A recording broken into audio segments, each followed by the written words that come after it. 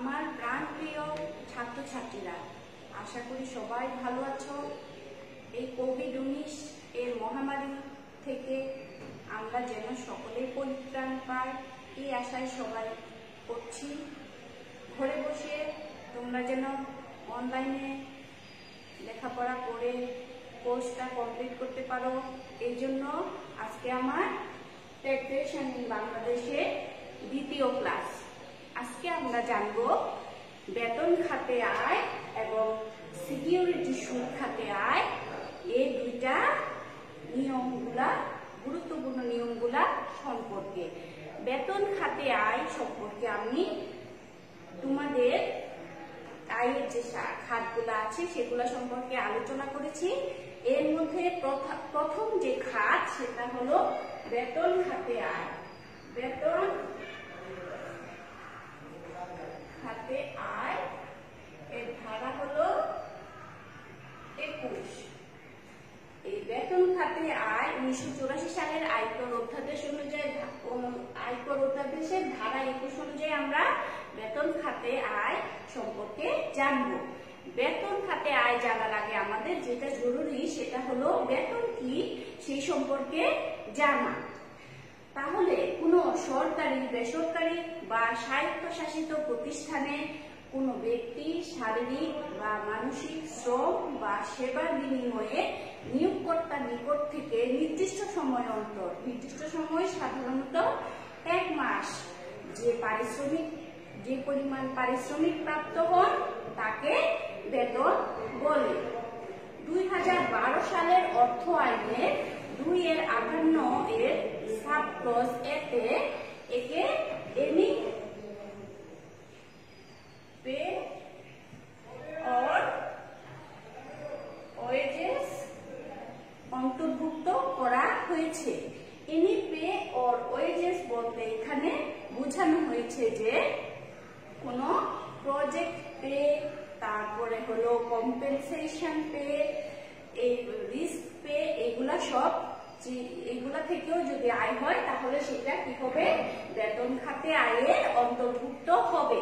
এছাড়া দুই এর আটান্ন ধারা অনুযায়ী বেতন খাতে আয়ের সাথে যেসব বিষয়গুলা অন্তর্ভুক্ত হবে, বেতনের সাথে সেগুলো হলো মূল বেতন মজুরি, বার্ষিক বৃত্তি, অবসর ভাতা, আনুতোষিক, ফিস ও কমিশন, বেতন পূরক, এইগুলা।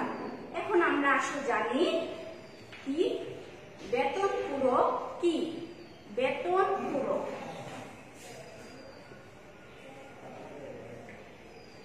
বেতন পূরক হলো কর্মী নিয়োগকর্তার নিকট থেকে কি করবে? চাকরির শর্ত সাপেক্ষে বেতনের বিপরীতে যে নির্দিষ্ট পরিমাণ অতিরিক্ত সুবিধা বা অতিরিক্ত আয় অর্জন করবে, তাকেই কি বলা হয়?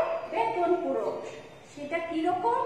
বেতন পূরক হতে পারে যেমন কোনো কর্মী তার ছেলে মেয়েদের শিক্ষা সহায়তা বাবদ যদি নিয়োগকর্তা কোনো অর্থ প্রদান করে, তাহলে সেটা হবে বেতন পূরক এছাড়া কর্মীকে যদি অন্যান্য সুবিধা দেয়া হয়, যেমন কর্মীর বাসস্থানের যদি ভাড়ামুক্ত বাসস্থানের মূল্য দিয়ে থাকে, এছাড়া বিনামূল্যে বা রাষ্ট্রিত ভাড়ায় যদি বাসস্থান দেয়, এইসব সুবিধাও কি হবে? বেতন পূরকে অন্তর্ভুক্ত হবে। তারপরে তোমাদের যেটা জানা জরুরি, সেটা হলো কি? মহার্ঘ ভাতা।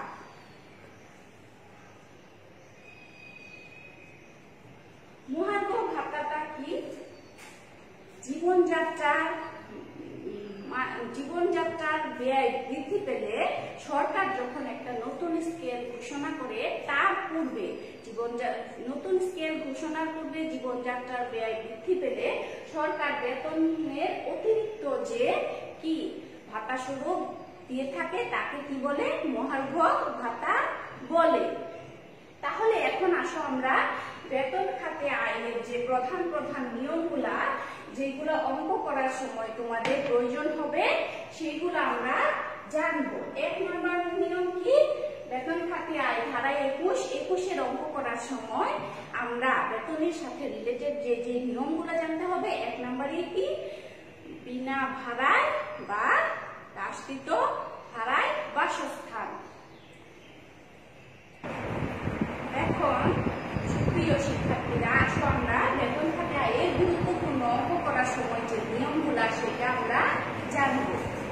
মোহনার প্রথমেই যেটা হলো নব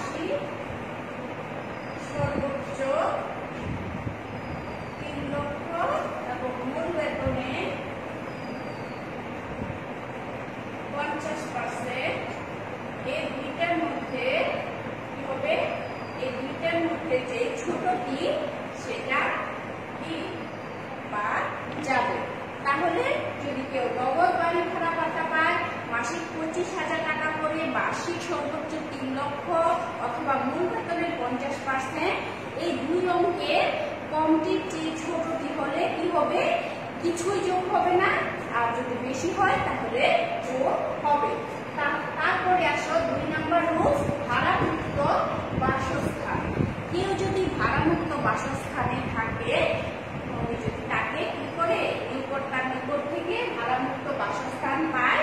সেক্ষেত্রে রুলসটা হলো মূল বেতনের পঁচিশ পার্সেন্ট অথবা বার্ষিক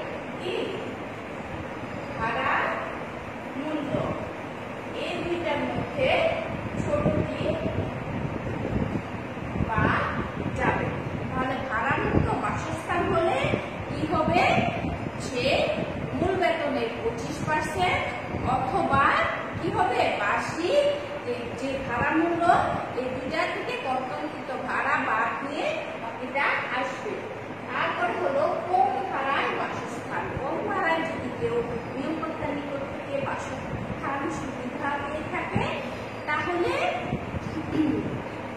মূল বেতনের পঁচিশ পার্সেন্ট অথবা কি পৌরমূল্য এক্ষেত্রে যদি পৌরমূল্য দেয়া না থাকে তাহলে সেটা হবে কি মূল বেতনের পঁচিশ পার্সেন্ট যদি দেয়া থাকে তাহলে মূল বেতনের পঁচিশ পার্সেন্ট অথবা পৌরমূল্য এই দুইটার যেটি কর তা বেতনের সাথে কি হবে?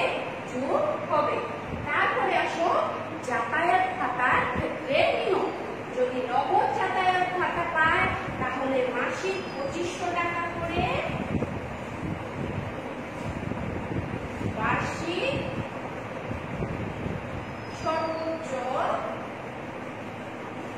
ত্রিশ হাজার টাকা পর্যন্ত অপরধার্য তাহলে যদি নগদ যাতায়াত ভাতা পায় মাসিক পঁচিশশো টাকা করে বার্ষিক সর্বোচ্চ ত্রিশ হাজার টাকা পর্যন্ত অপরধার্য যদি নিয়োগকর্তা নিকট থেকে কর্মী গাড়ি সুবিধা পায় বা যানবাহন সুবিধা পায় তাহলে মূল বেতনে তাহলে কি হবে মূল বেতনে পাঁচ পার্সেন্ট বা বার্ষিক সর্বোচ্চ ষাট হাজার টাকা বার্ষিক সর্বোচ্চ কত ষাট হাজার টাকা এই দুইটার মধ্যে মূল বেতনের পাঁচ পার্সেন্ট অথবা ষাট হাজার টাকা এই দুইটার মধ্যে কি হবে বড়টি অন্তর্ভুক্ত হবে তারপরে আসো ছয় নম্বর নিয়ম অতিরিক্ত যাতায়াত ভাতা কেউ যদি গাড়ির সুবিধাও পায় এবং কি ভাতাও পায় তাহলে কি হবে মূল বেতনে তাহলে সে মূল বেতনের পাঁচ পার্সেন্ট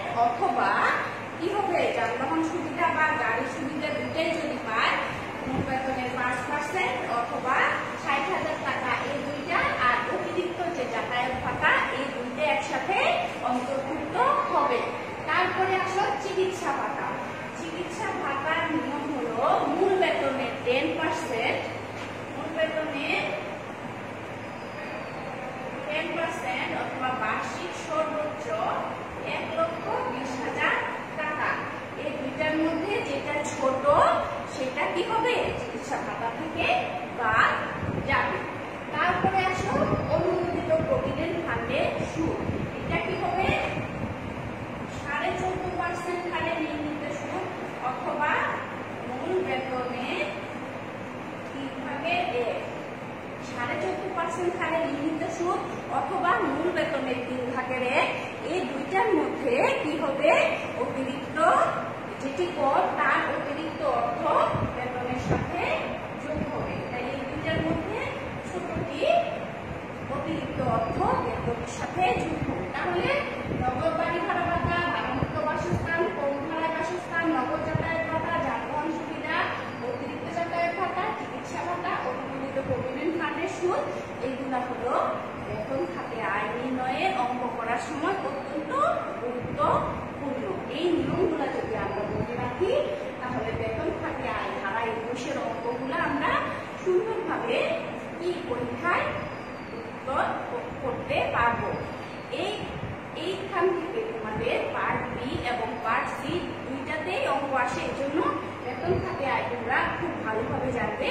আমি এটা আশা করি। তারপরে আসো, তোমাদের যেটা জানা জরুরি সেটা কি? অনুমোদিত বিনিয়োগগুলা কোনগুলা? তাই না? অনুমোদিত বিনিয়োগ সম্পর্কে তোমাদের একটা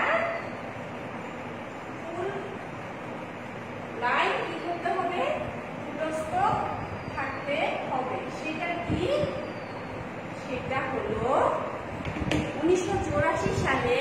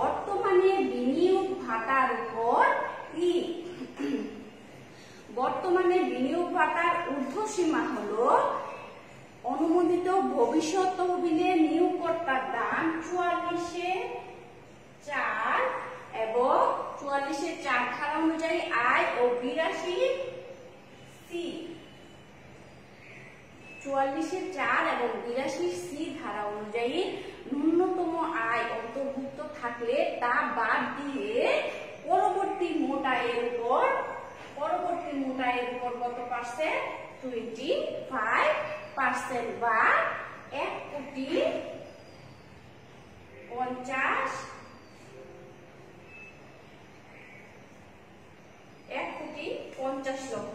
তাহলে এই পঁচিশ পার্সেন্ট অথবা এক কোটি পঞ্চাশ লক্ষ, এই দুইটার মধ্যে যেটা কি হবে? কম সেটা বাদ যাবে। তাহলে এগুলোর মধ্যে কি? ছোট তিন এটা হলো আমাদের অনুমোদিত বিনিয়োগ। আমাদের লাইনটা মনে রাখতে হবে। চুয়াল্লিশের চার এবং বিরাশির সি ধারা অনুযায়ী অন্যান্য খরচগুলা বাদ দিয়ে সেই বাকিটার উপর কি? টোয়েন্টি ফাইভ পার্সেন্ট অথবা এক কোটি পঞ্চাশ লক্ষ।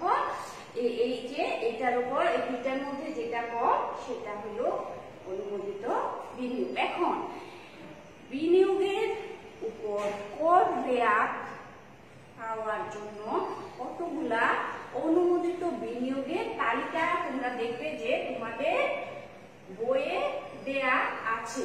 সেইগুলা কি? অনুমোদিত বিনিয়োগের তালিকায় আমরা যদি কতগুলা জায়গায় বিনিয়োগ করি, সেগুলা সরকার অনুমোদিত। এগুলোর উপর সরকার কি করে? কর রেয়াত বা ছাড় দিয়ে থাকে। সেগুলা কোনগুলা? এক নম্বরে হলো তোমাদের কি? জীবন বিমার প্রিমিয়াম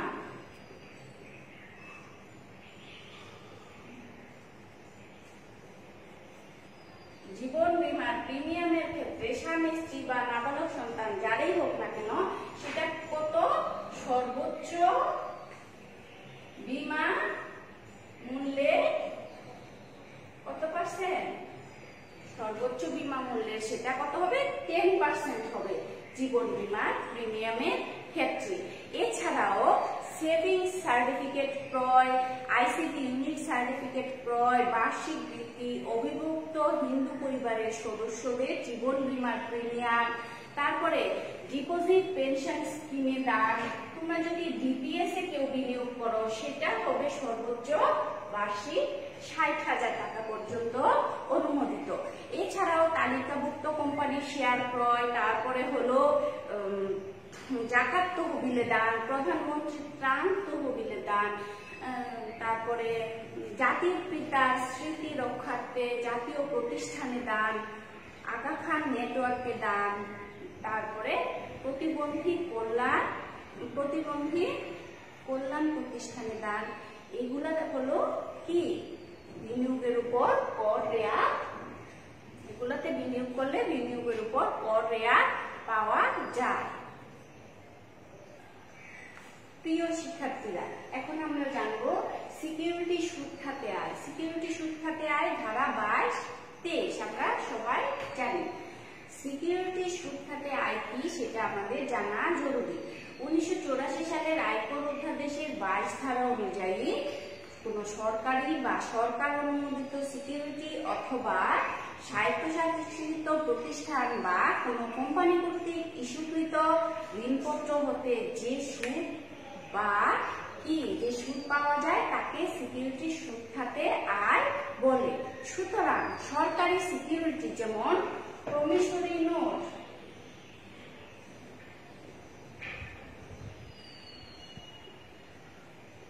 ট্রেজারি বিল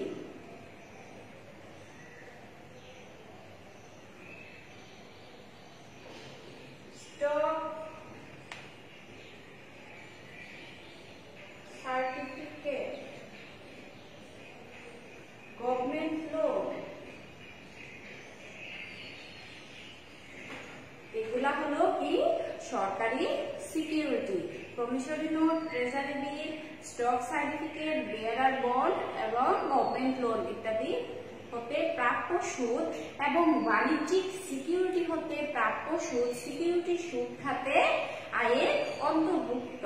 স্থানীয় কর্তৃপক্ষ যেমন কি মিউনিসিপ্যালিটি কোর্ট ট্রাস্ট বা যে কোনো কোম্পানি কর্তৃক ইস্যুকৃত সিকিউরিটি বা ঋণপত্র বাণিজ্যিক সিকিউরিটির অন্তর্গত। এখন আসো সিকিউরিটি সুদ খাতে আয়ের আওতা এবং শর্ত সমূহ সিকিউরিটি সুদ খাতে আয় হতে হলে সেটার দুইটা শর্ত আছে। সেটা দুইটা কি? আয় হিসাবে অন্তর্ভুক্ত হতে হলে দুইটা জিনিস হতে হবে। একটা কি?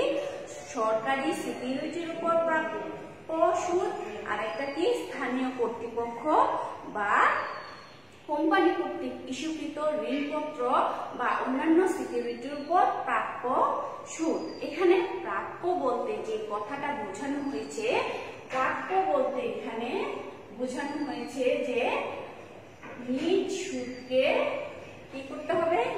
নিজ সুদকে মোট সুদে রূপান্তরিত করতে হবে। ঠিক আছে? তাহলে সরকারি সিকিউরিটির উপর প্রাপ্য সুদ এবং স্থানীয় কর্তৃপক্ষ বা কোম্পানি কর্তৃক ইস্যুকৃত ঋণপত্র বা অন্যান্য সিকিউরিটির উপর সুদ হল সিকিউরিটির সুদের উপর আয়ের হার। তারপরে আসো, এই সিকিউরিটি সুদ খাতের আয় হতে হলে এর তিনটা শর্ত আছে। একটা হলো এই সিকিউরিটি গুলা অবশ্যই কি হতে হবে? আয় অবশ্যই সুদ হিসাবে আসতে হবে। একটা হলো কি? আয় শর্ত সমূহ আয় অবশ্যই। অবশ্যই কি হতে হবে? সিকিউরিটি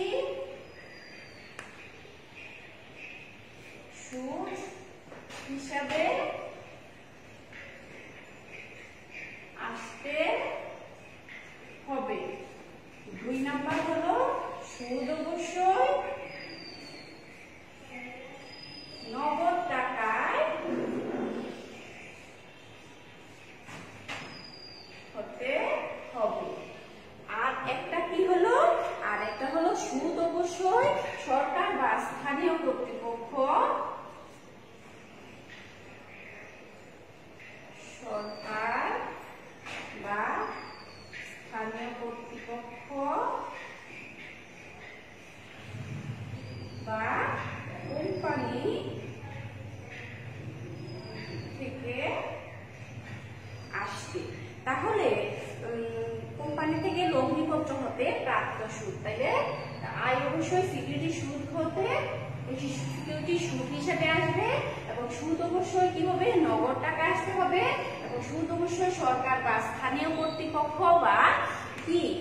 ও কোন কোম্পানি কর্তৃক ইস্যুকৃত লগ্নিপত্র কোম্পানি থেকে ইস্যুকৃত লগ্নিপত্র থেকে আসতে হবে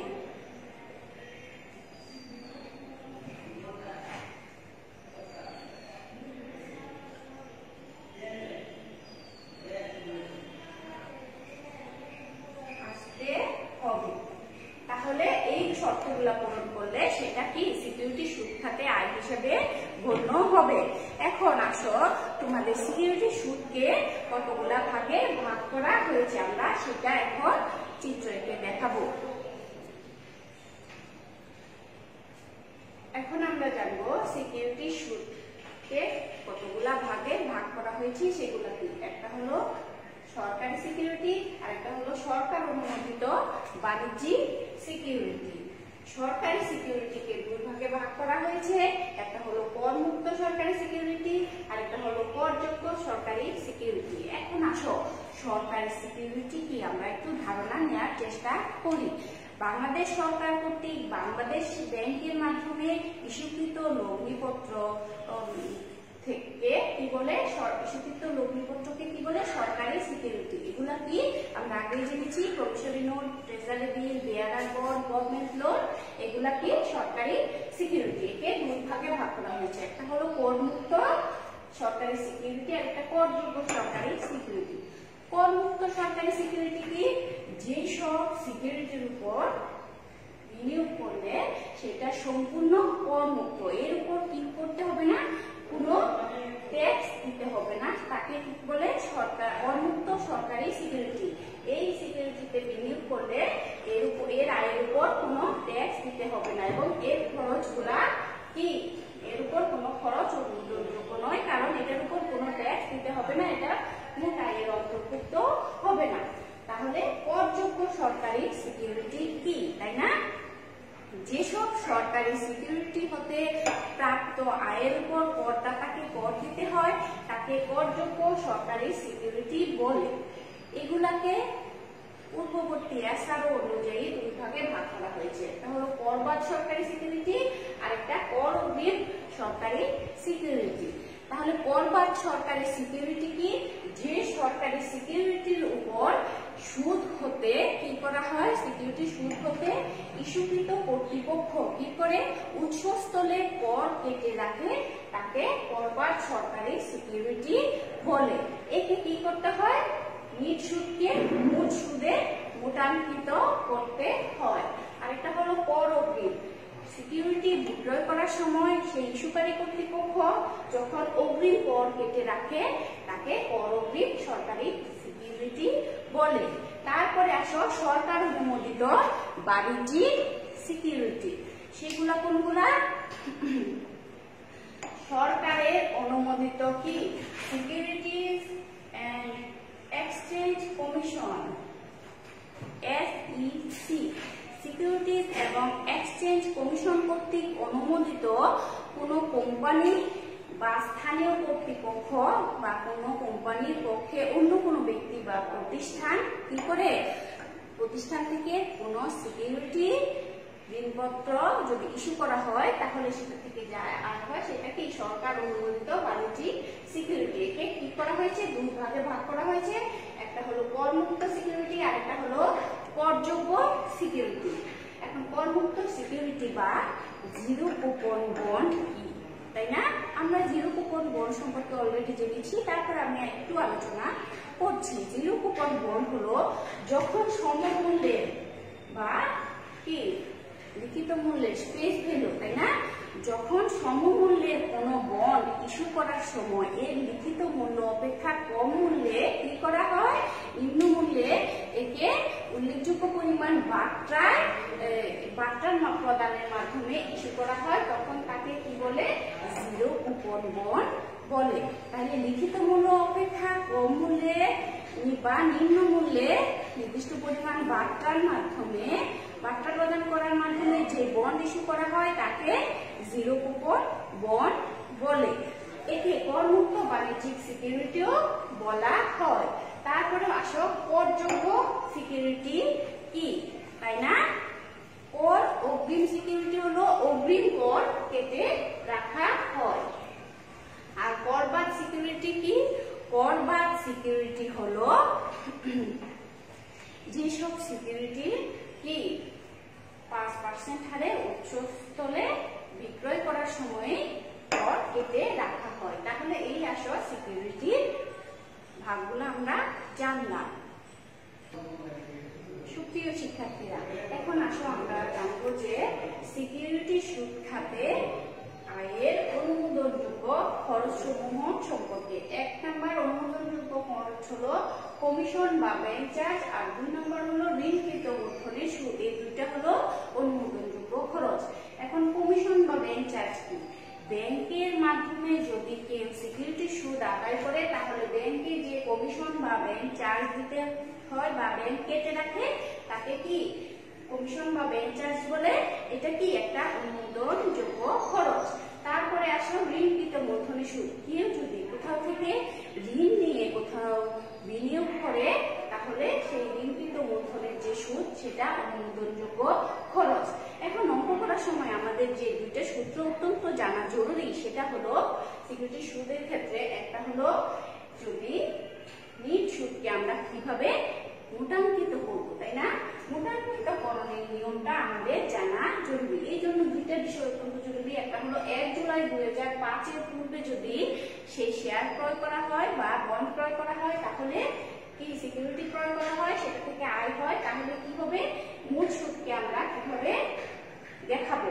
তাহলে আমরা বের করব মোট সুদ সমান নিট সুদ ইন্টু একশো ডিভাইডেড বাই একশো মাইনাস উৎসস্থলে করকর্তন তাহলে এটা হবে সুদ ইন্টু একশো ডিভাইডেড বাই যদি বিশ পার্সেন্ট হয়, একশো বিয়োগ বিশ।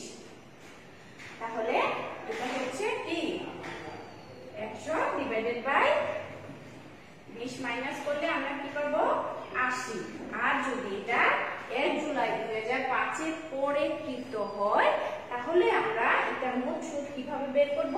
নিট সুদ ইন্টু একশো মাইনাস ফাইভ পার্সেন্ট তোমরা জানো যে এক জুলাই দুই হাজার পাঁচের পরে কৃত শেয়ারের উপর ফাইভ পার্সেন্ট হারে উৎসে কর কর্তন করে রাখে। তাহলে এটা কত হবে? একশো ডিভাইডেড বাই পঁচানব্বই। এই দুইটা জিনিস মনে রাখা অত্যন্ত জরুরি সিকিউরিটি সুদের ক্ষেত্রে। সুপ্রিয় শিক্ষার্থীরা, সবাই ভালো থাকো। আমার দ্বিতীয় ক্লাস ভালোভাবে তোমরা উপভোগ করো। আসসালামু আলাইকুম।